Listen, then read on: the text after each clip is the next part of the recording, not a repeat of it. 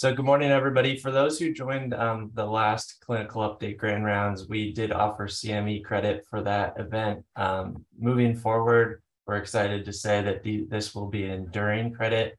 Um, so you'll be able to view this online and receive credit uh, both uh, for the live activity and uh, for the recording. Um, and I will stop sharing my screen so we can uh, move to introductions. Tom? Great. Well, thanks, uh, thanks, John, and thank you for joining us and listening in today. Very excited. It is World Hepatitis Day, at least it was yesterday. So I think it's a very appropriate conversation. We have a lot of guests with us to talk about, um, you know, hepatitis. Uh, we have Dr. Velagapudi, who is uh, from infectious disease assistant professor at CHI Creighton uh, at Bergan Mercy. Um, she started HIV, hepatitis, and PrEP clinics at her institution and currently serves as program director for ID Fellowship at Creighton University. We have Dr. Mindru, who is an attending at the VA Medical Center, Michael E. DeBakey in Houston, where she's an assistant professor at the Baylor College of Medicine. Um, she did do her internal medicine residency at a Yale program in Connecticut. She also has her infectious disease uh, training at Creighton and transplant from University of Nebraska. Last but not least, we have our fearless leader of population health, Dr. Nick Stine, who's a primary care doctor trained in internal medicine from Brigham and Women's.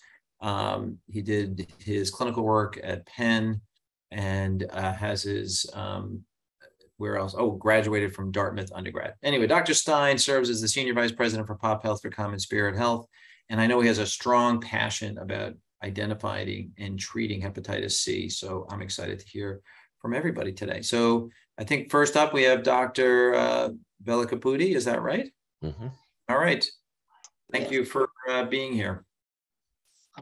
Thank you for the kind introduction. Um, with no delays, I would start.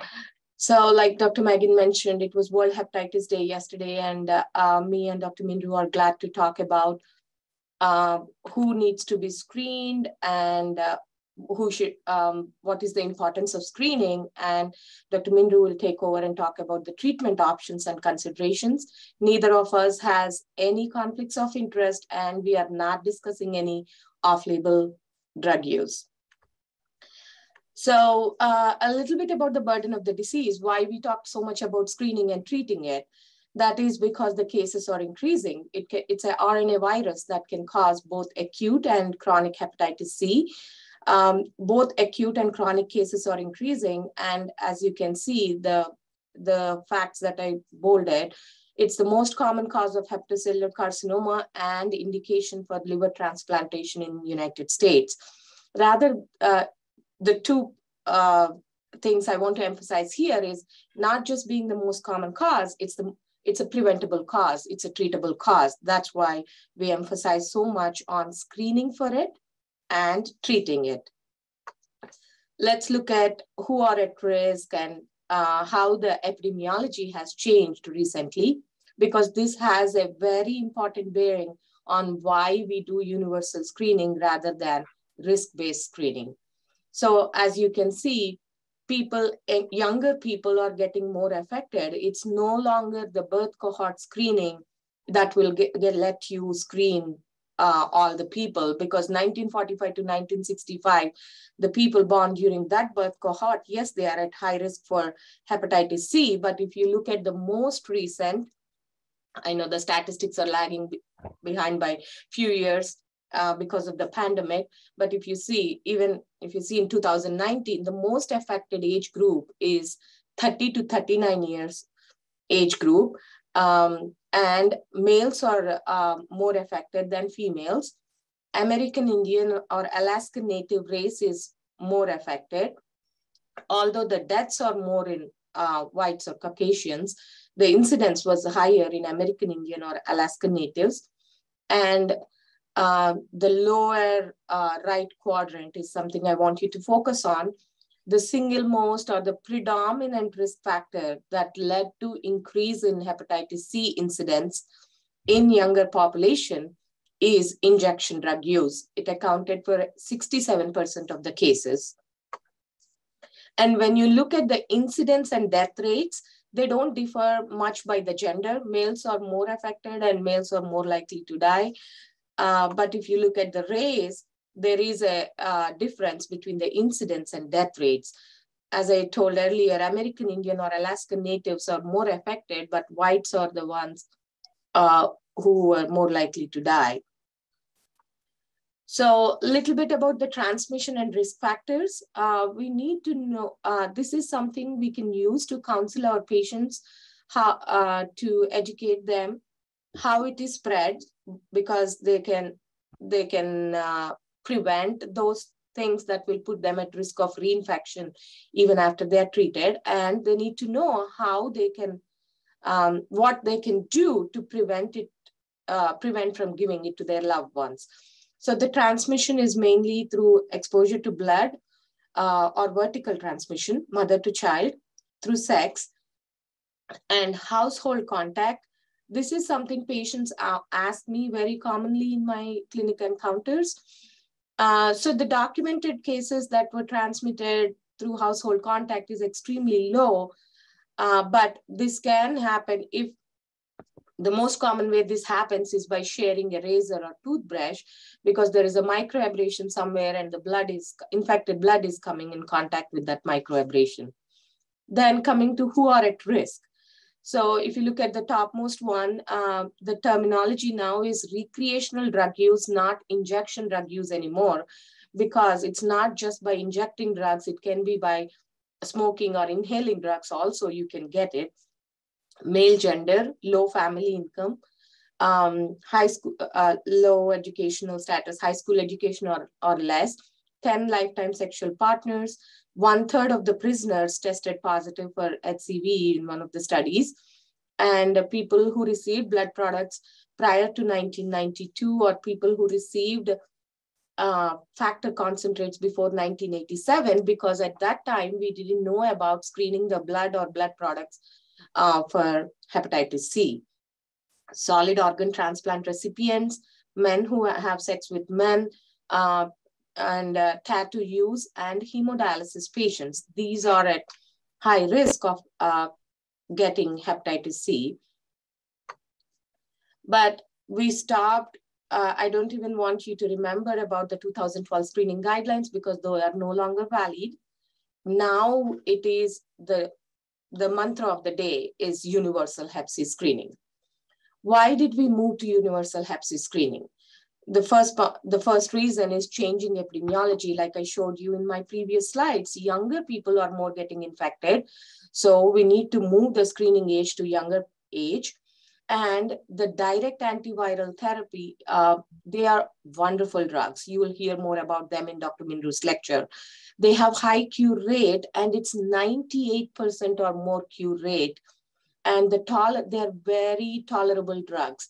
Uh, I hear from my veteran patients that they left out of the infusion clinics when Hep C was treated with interferons because the treatment was worse than the disease. They didn't tolerate it.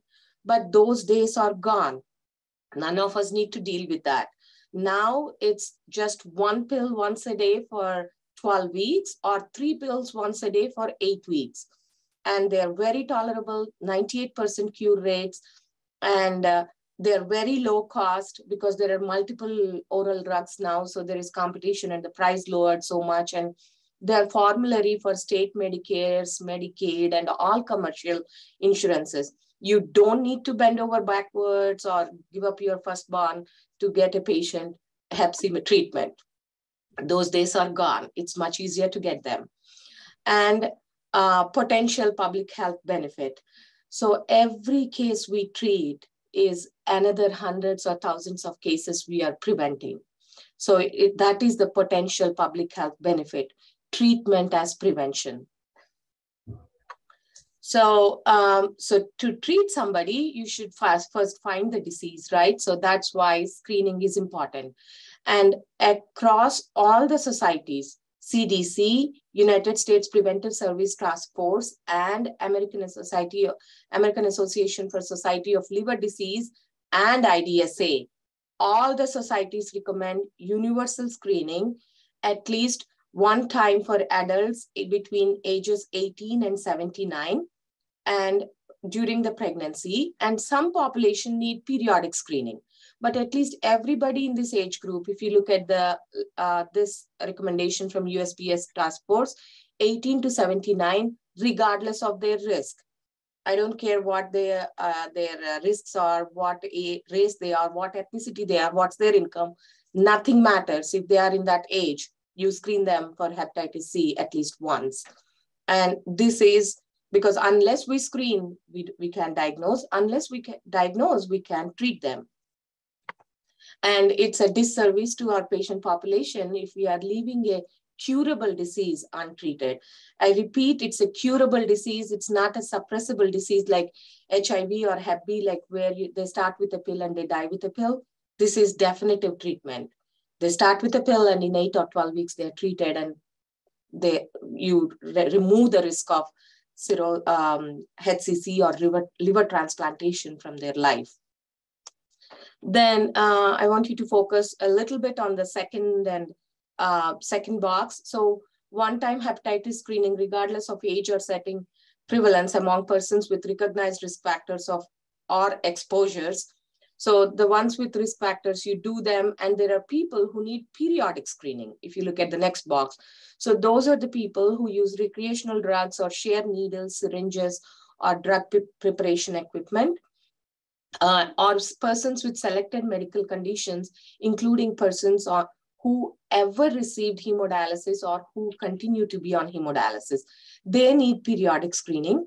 And the last point, I want you to focus on it, anybody who asks for it because at the first encounter, you are nobody to the patient. You didn't establish that rapport with them.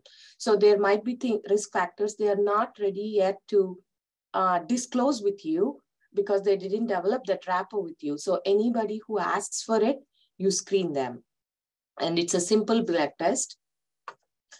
So uh, a little bit about the progression. So out of eight uh, people, 100 people exposed, 85% develop chronic infection. Only 15 to 25 um, spontaneously clear it. So, but majority, 85% develop chronic infection. Out of them, up to 20% in 20 years will progress to cirrhosis. And out of those who develop cirrhosis, there is an annual risk of uh, 1 to 4% that they will progress to liver failure or hepatocellular carcinoma. That's what we are trying to prevent by treating, screening early and treating the disease early. So how do we screen? So we screen, uh, we start with the antibody. Uh, it gets detectable within four to 10 weeks after infection, and it's present in more than 97% of the people by six months after exposure patients who clear infection will still have the hepatitis C antibody and who clear it doesn't need treatment because their body spontaneously cleared it. The next step in screening is the viral load where you measure the HCV RNA copies. So RNA, it becomes detectable much quicker. Two to three weeks after infection, you they, it gets to detectable levels. And that is the one that confirms the chronic infection. So the basics of screening. The screening test should be something that picks up majority of the cases, easily available and available in all the settings. Something we use should be applicable in a rural place in Montana to Man Manhattan, New York. So it should be available to everybody. So that's why we choose a simple and widely available test and a cheaper test. So you always start with antibody, but a screening test has all should always be confirmed by a confirmatory test. Otherwise, you will fall into the trap of false positives or false negatives. So that's why an antibody should be followed by a viral load, which, which will confirm the diagnosis of hepatitis C and will help you make the treatment decisions. So uh, if you look at the linkage to care, so you start with antibody. If it's non-reactive and they, do, they have no risk factors, you stop there. But if it is reactive, you do the viral load. If it is not detected, that means they don't have a current infection or they cleared it, or it's a false positive antibody. But if it is detected, by the viral load, you link them to care. When I say linkage to care, depending on which setting you are, There are infectious disease physicians like me who treat hepatitis C, and there are GI doctors who treat hepatitis C. Um, you can refer to whoever is available in the system. And uh, the only other difference is if the patient has decompensated cirrhosis or advanced liver failure, it's better to uh, for them to be in the hands of a hepatologist or a gastroenterologist rather than a infectious disease doctor because they need much more than antiviral therapy.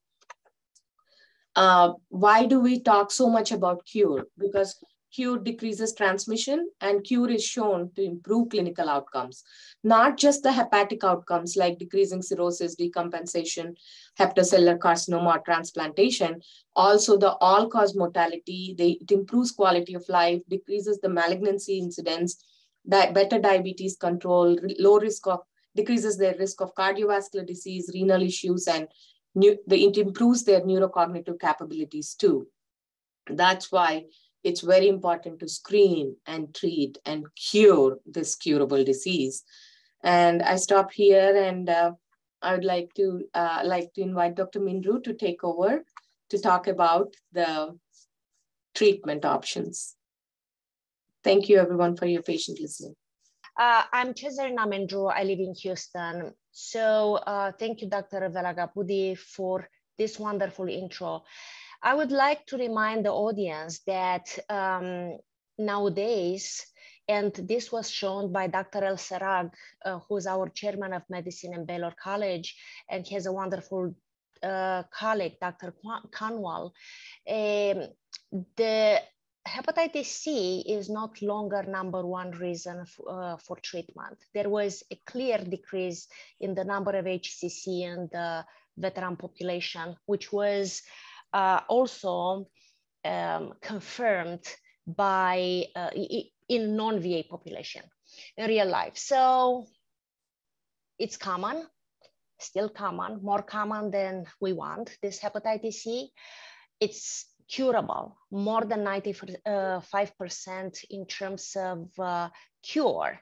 Um, some drugs advertise 100%, it depends.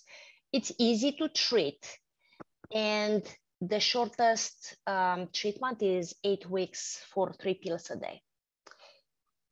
And I would like to emphasize this for the primary care physician who wants to treat, they have the knowledge, the time, the support to treat.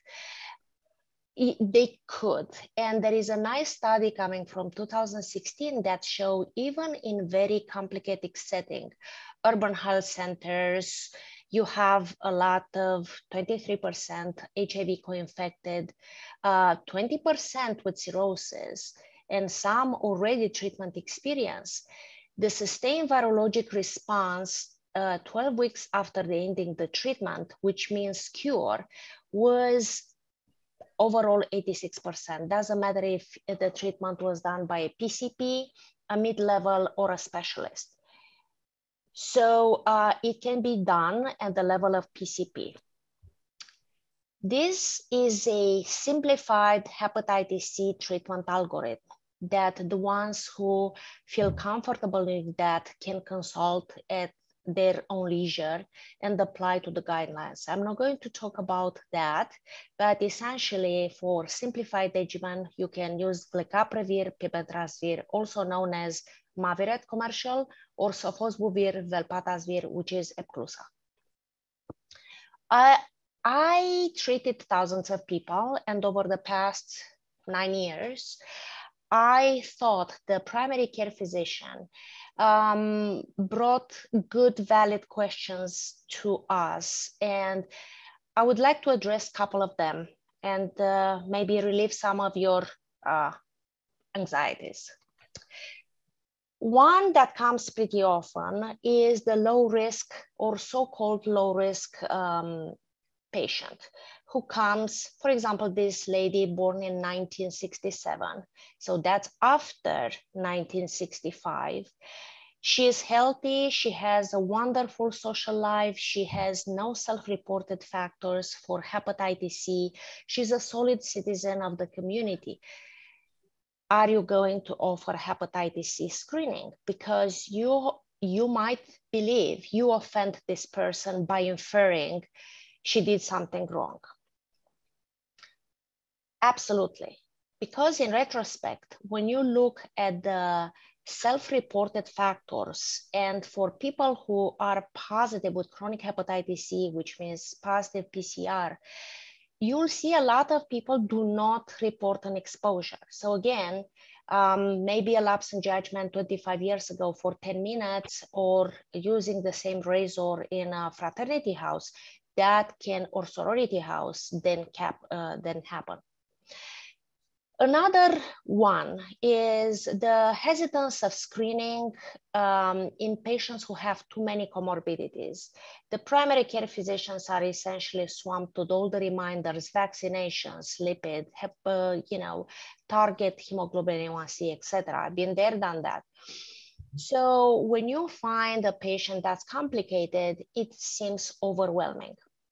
So I'm giving you a case of an elderly gentleman who was diagnosed with some uh, non-Hodgkin lymphoma, which in the past was clearly associated with hepatitis C.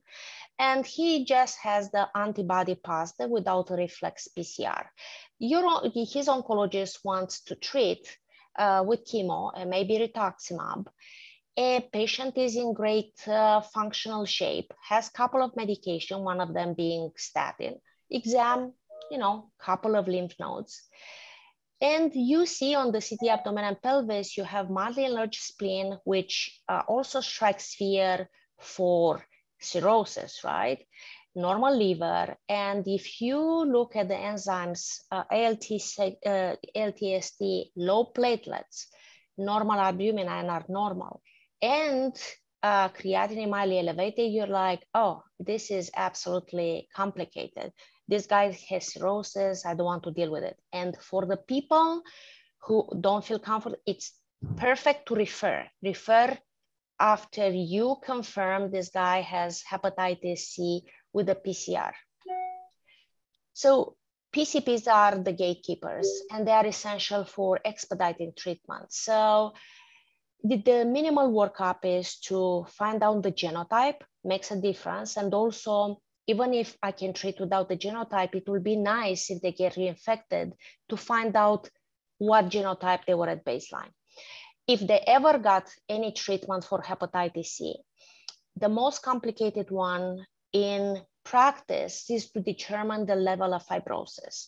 That will help us tailor the treatment duration and option. And if you have high fibrosis, you refer to hepatology for linkage into care and um, screening for hepatitis C, sorry, for HCC, for hepatoma.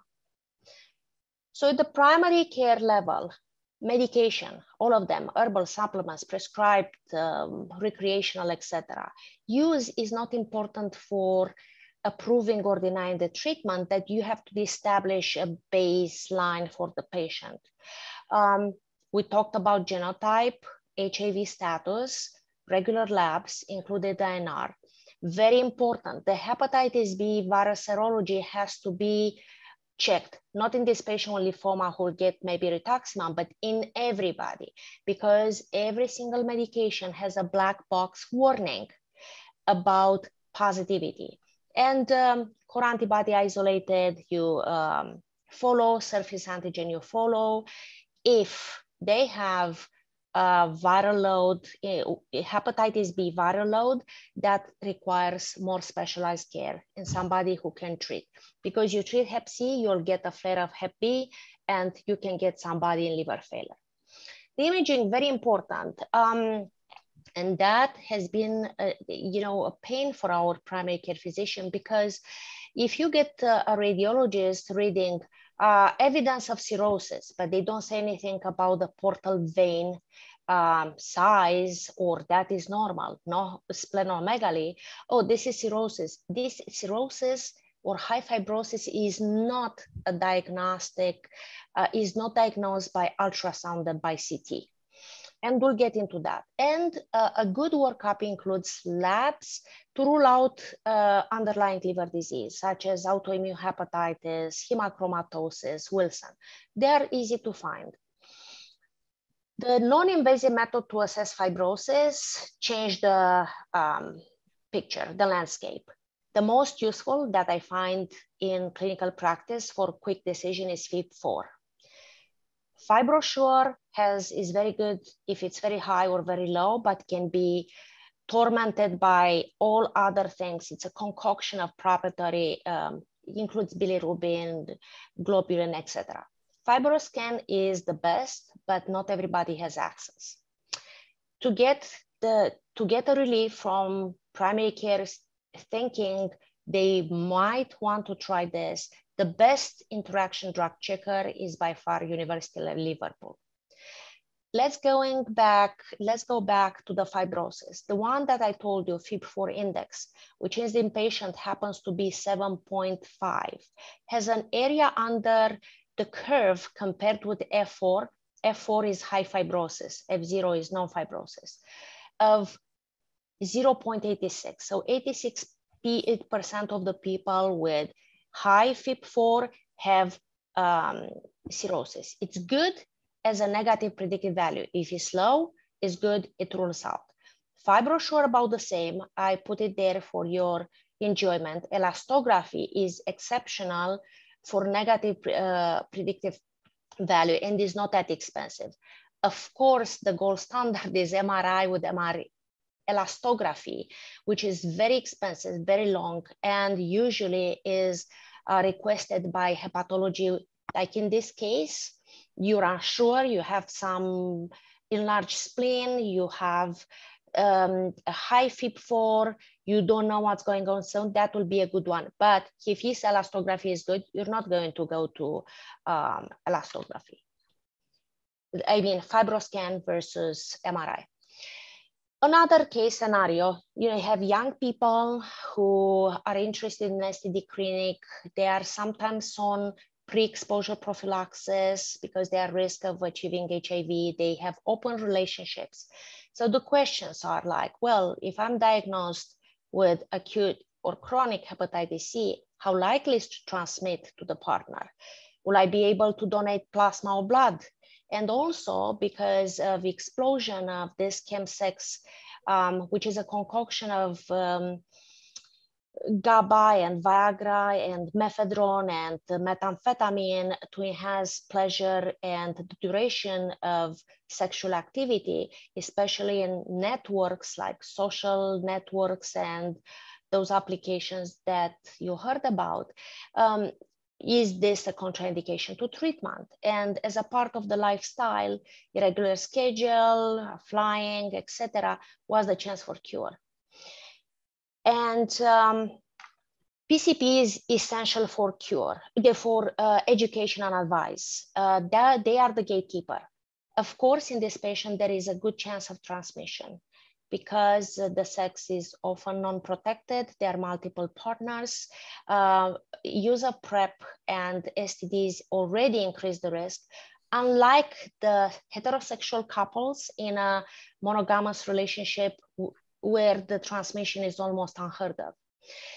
He can never donate blood, not only because of high risk MSM and injected drug, but let's, let's say in 10 years from now, he's treated, doesn't have a viral um, load, is still blood bank will not accept it. And would the recreational drug use be a contraindication? It depends on the insurance on the state. But if we scale up and we treat as many people as we can in this micro environment, micro environment, uh, we can use treatment as prevention.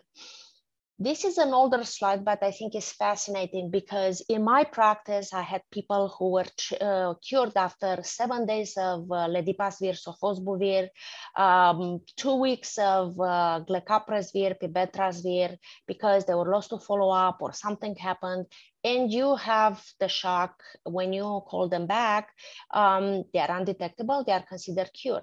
On the other side, you have a couple of those. This is not 100%, who diligently took the medication, no PPI, no nothing, they are still not cured. So this slide is essential. The, in the people who have predictors of non-adherence, like alcohol, uh, cirrhosis, uh, kidney, and genotype 3, you still could achieve a high cure even with 50% adherence rate. And it's nicely shown So uh, don't uh, withhold the treatment just because these people are unlikely to take it. So again, even low adherence results in cure. For the next two slides, that's only for the primary care because I'm probably out of time and there is no way I can discuss treatment of this disease in 14 um, minutes or 16. Um, I think it will be good just to have them for follow-up. Of course, they are available in uh, American Liver Association. And uh, thank you. Thank you. That's great.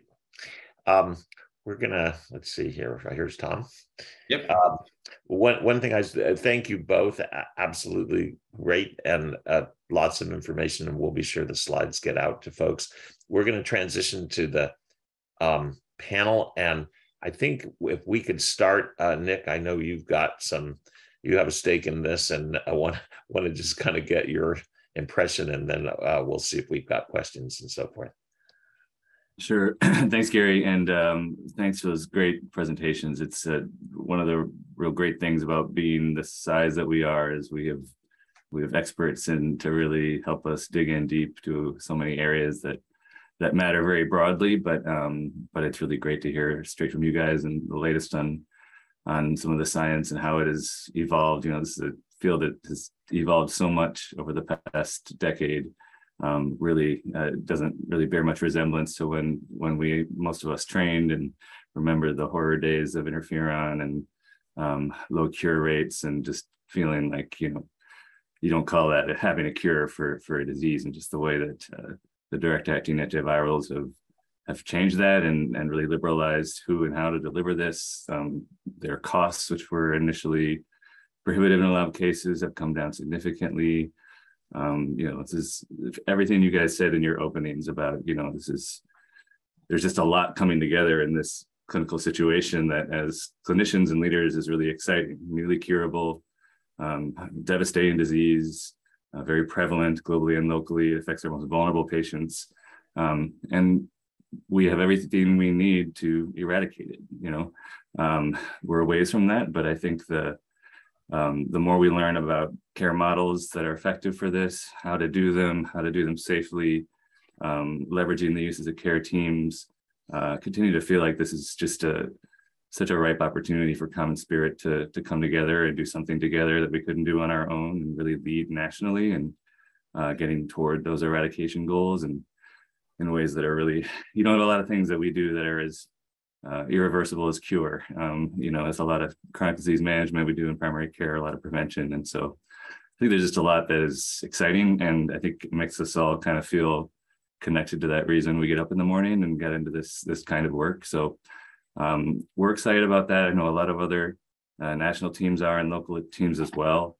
Um, if you do have existing programs we should be aware of, we're doing sort of an updated scan of, uh, of, of what's out there. We know there's great work happening in a lot of different uh, markets that we have, please reach out to us. I think there'll be some contact info in the follow-up here.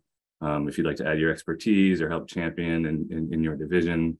Um, obviously, it's a it's a difficult environment for new projects, but we know that if we can really get a good look at the at the financial ROI and make our case, the, the mission case is really, really strong here. And one other thing to note is while the science is as you know we've learned a lot about you know not necessarily needing to look at certain restrictions whether it's about providers or patients. Um, not all states have caught up with that so we have a lot of huge variation in state policy and restrictions and prior auths and things like that. So we're going to try to help navigate that to the extent that uh, varies across our markets but i think we have some some good folks trying to pull some pieces together on that and uh, I think it's a shared shared enthusiasm for what what's possible here. So really appreciate you guys bringing your expertise and um, really interested to hear more about what is going on out there in in the markets, either through questions or in follow up. Great, thanks. Um, I, I, have one question, Dr. Mindru. I just want to be sure I heard you right. And I think what you said is um, it's great to treat one patient, but keep in mind that when you do, you, I think you said you're removing a, hen, hundred patients out of a thousand uh, who would be susceptible or would eventually get hepatitis C from a public health standpoint. And did I it was, I think that's what I heard, but I wanted just to. I don't think I understand the, the question. I don't think you have to remove anybody. Universal screening and once you have the PCR, you go and get it treated. So I, I, might not understand the question. Well, I, I think I think it was that um, it, it, in terms of if the patient is untreated, how many cases would we expect out of a thousand patients? I do not know. That's an epidemiologic question.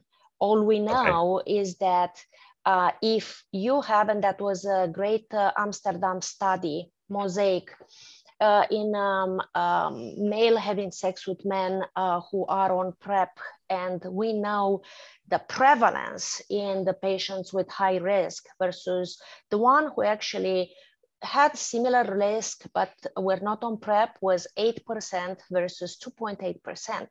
So in the general population, there is no telling, um, especially now with uh, with COVID, they put things on hold and we are behind. Number two, with the explosion and sexual networks that um, you know they are coexisting with STD. Do you have multiple opportunities to distinguish this microenvironment? They've mm. done that again in Amsterdam in patients who are Hep C and HIV co-infected, and the, the rate, they, they addressed the network, the rate of cure was around 90%. Okay. I think there was another point you made that was really striking of for every for every patient that we cure, we prevent some certain amount of downstream transmission uh, or infections. Was there a number that you said? I, I didn't say a number. Okay. It's uh, you know in the population you re- in high risk population, for example, um, you decrease it you know fourfold. That's an epidemiologic data and i'm not sure how accurate they are because we're lagging behind. Okay.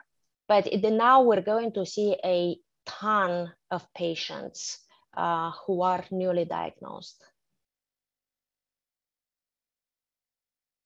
I think one of the striking things to me, a theme that's come across both in screening and in the treatment, has been sort of the partnership between physicians as well as APPs, right? So our advanced practice providers, and how each of us has a role to play when it comes to both screening and treatment.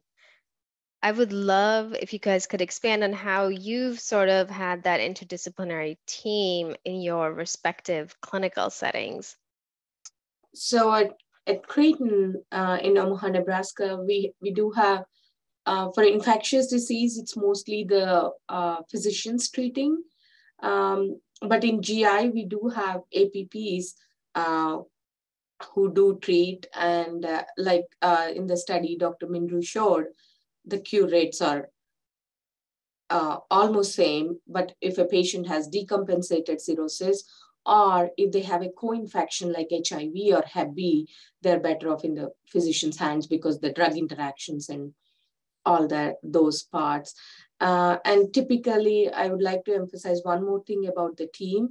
Uh, I feel like most of the times um, the physician burnout is from documentation or the dealing with the paperwork and uh, getting the filling the patient assistance forms or un, or those things. For those, our pharmacy, uh, like at CHI, we send it to St. Joe Specialty Pharmacy, and we have a medication access coordinator who um, looks up the patient insurance and sees what is the formulary drug and uh, do they pay even if the patient has a positive drug screen within the six months because medicaid doesn't pay if, without a negative drug screen but everybody else don't care if their patient has a drug positive drug screen or not. So that's something I thought I would like to share with the group because that might really help uh, facilitate the physician workflow, having a medication access coordinator who is a pharmacy tech. They don't need to be a full-fledged pharmacist, just a pharmacy tech who will remove all those barriers. And uh, uh, she does the free copay, uh, she does apply for those copay cards when patient get, takes it to the pharmacy, it's zero cost for the patient. So um, yeah, so th- sorry, your question was about APPs and the physicians. Yes, we do have APPs treating in GI clinics, but ID it's mostly physicians at our campus. All right, great. Uh, there, there's one comment, and then we'll wrap up um, in the chat. And I, I, th- I think it's a theoretical question, and it's: Is it possible to add hepatitis C in the order set of admitted patients to our system? And and I, I think it's the question is: Has there been any thoughts about that? Are any systems doing it? I guess would be the other way to ask the question. Um, so one of our faculty at Creighton, Dr. Ilhate, is leading a QI project uh, based on this to that way we can promote universal screening. Um, so we would really appreciate if there are any system-wide measures that can be put in place to encourage this measure. Uh, we, uh, I, I think the idea was not perceived right when we presented it, um, but um, I mean, that I think that would be a great way to screen um, all the people that needs the screening, and we would appreciate any support at the system level to make that happen. Or if you want to try like a pilot thing at one site first, I don't know whether Epic allows that. That's beyond my expertise. Maybe I have to ask the IT folks, but or can we can choose a pilot site and uh, see what it results in and then apply system wide. I think that's a great idea.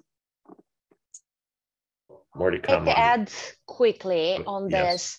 What it was done uh, in our institution, it was replacement of all the orderable lab tests with hepatitis C viral load with reflex. So if that was positive, the lab will automatically do the viral load. So that was the change and nothing else could have been ordered nothing, no quantitative, quantitative, etc., etc. That was just lab and the system and has been done. All right, um, that's great. Uh, I just wanted to note, and we will send this out to all the participants. Uh, there's a comment from Samantha Ross. If you're interested in connecting with the team, exploring a possible system-wide approach, please reach out to Hannah Burns. Enoch, is that right?